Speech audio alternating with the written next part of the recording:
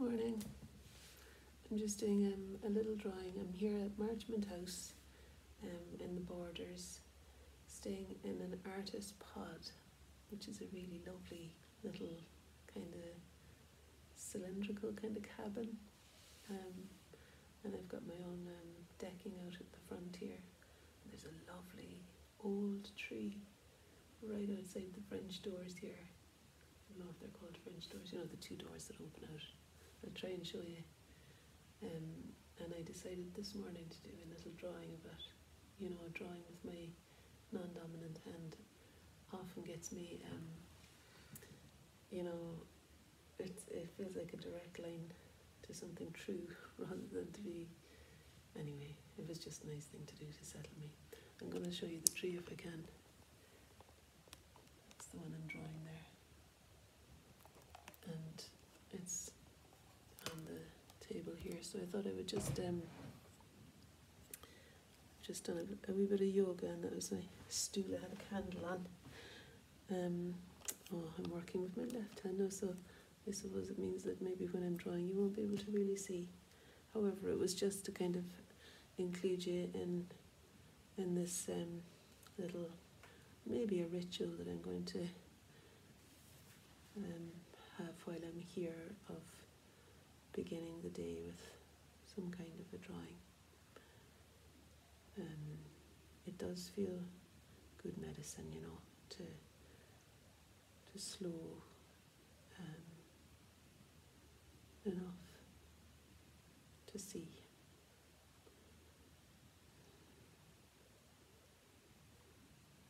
So I'm just following the contours of the branches best I can. And as you can see, finding and refinding over and over the relationship between branches and the shape that they make of the pieces of sky through them. Each, every single branch has a kind of a character that's on its own.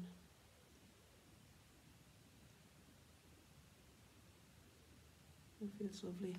It feels lovely to just be quietly kind of with the tree, I suppose, in a way, like curious as to what's going on there. Like, so.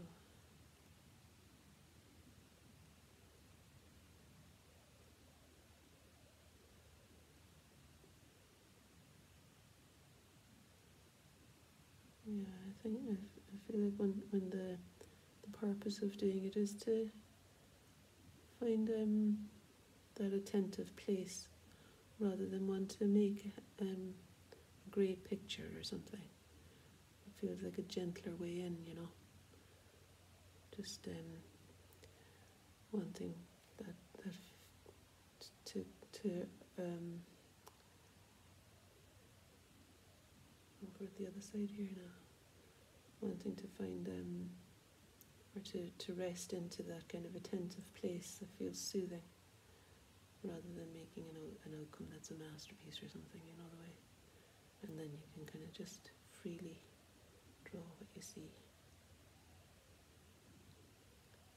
without any pressure.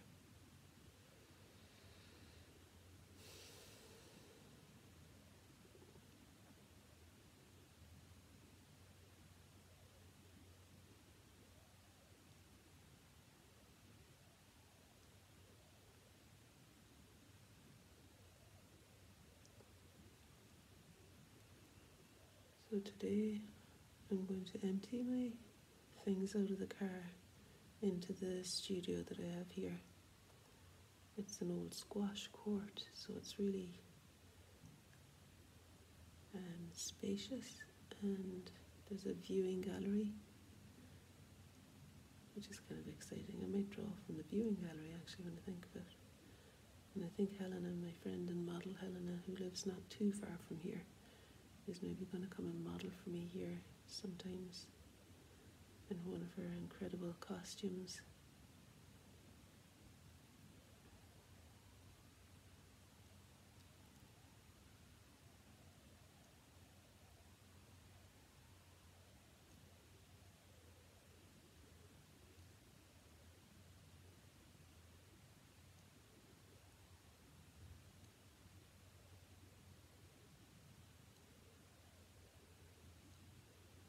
And then I thought it would be a lovely thing to to find my way around here, like to go for a meander and just see all the different paths and things that I can familiarize myself with over the time that I'm here.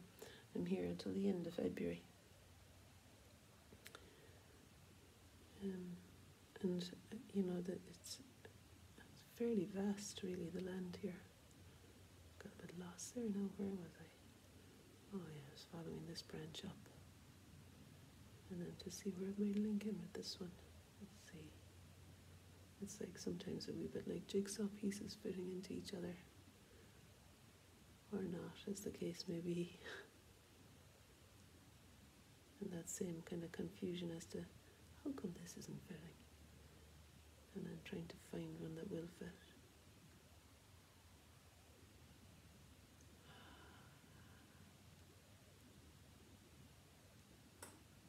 So it's gener- generally, generally what I'm feeling here is, as my friend would say, joyful anticipation. That's, that's mostly my feeling, and I'm glad of that I feel like I can rest into my own rhythm and flow and just just do do what feels right in the moment. There's a bit of a pressure to that, isn't there? Like you feel like you should know in every moment what feels right. But just the next step, like that's all. And the next step here is trying to find the line that'll represent this long, slender branch heading off there. There we are. And then there's this one that's kind of truncated somehow. I think there was a lot of trees blown down last year. Um, in the storms. But they, they have a very, I think it sounds like they have got a very um, experienced kind of task force here looking after the place, the gardens, and you know, this wonderful furniture furniture making studio. And in the artists' um, common room, there's a very beautiful table made by a couple of guys, um, the furniture makers here, who um, made a replica of one that was in the grand house it's a very beautiful long oak table. I think it's oak. What am I doing now? Yeah, the jigsaw pieces are kind of, with a little bit of a squeeze, they're fitting together fairly well. Like, really, I'm not sure what will be the main focus of my work here. And and that you know while it can be a little bit edgy i'm glad of it actually because I, I kind of want to, to come to it not knowing really. But of course having a little bit of order is helpful and so I have plans today to do to do a, a painting this afternoon or a drawing of some sort um, in the studio, but we'll see. I don't know now if that's what's going to happen, but I'm going to do uh, set myself up in there anyway and see if um, if there's anything in the pile of work that I've brought with me that I can work on, just simply to actually begin working in the space, you know. So I think that would be a good idea. Um,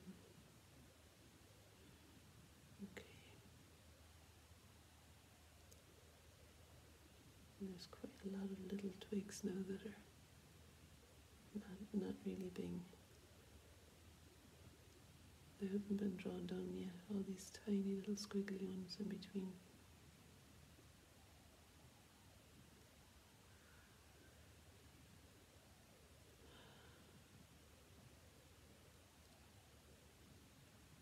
I forgot my microphone at home, so I'm just hoping because it's so quiet here that maybe you can still hear me well enough.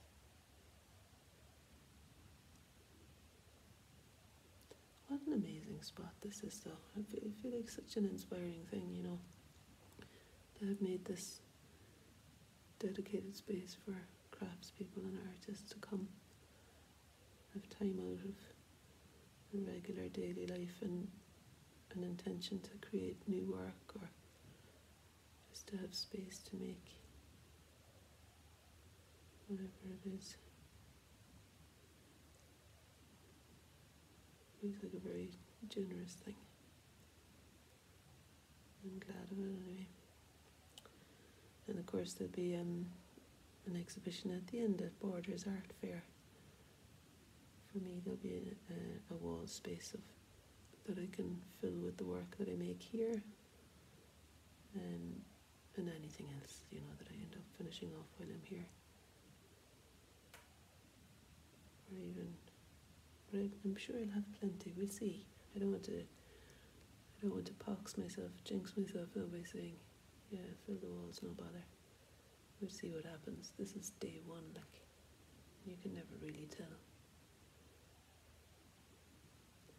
But um, I feel like my main job really is to show up, show up, and just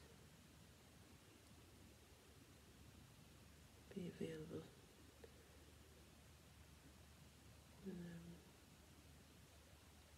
And to and to actually pick up the materials and make make something every day. That's the plan. That's the extent of the plan. And I can cook and eat eat well. I made myself a lovely vegetable soup yesterday here. After arriving and settling in, there was a lot of organising. I kind of bought loads of bags with me. That's mostly how I've packed. is just big carrier bags. And that's what's going to be going in with all the paints now into the studio. Or, um, or just in big um, shopping bags. But it'll be grand once I settle in. What am I doing there now? Oh, I don't see any more. I think I might be done for now, you know.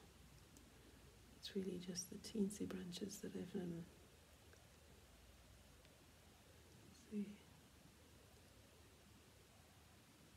That one goes down there, yeah. Okay. Yeah, so I think I'm going to stop there.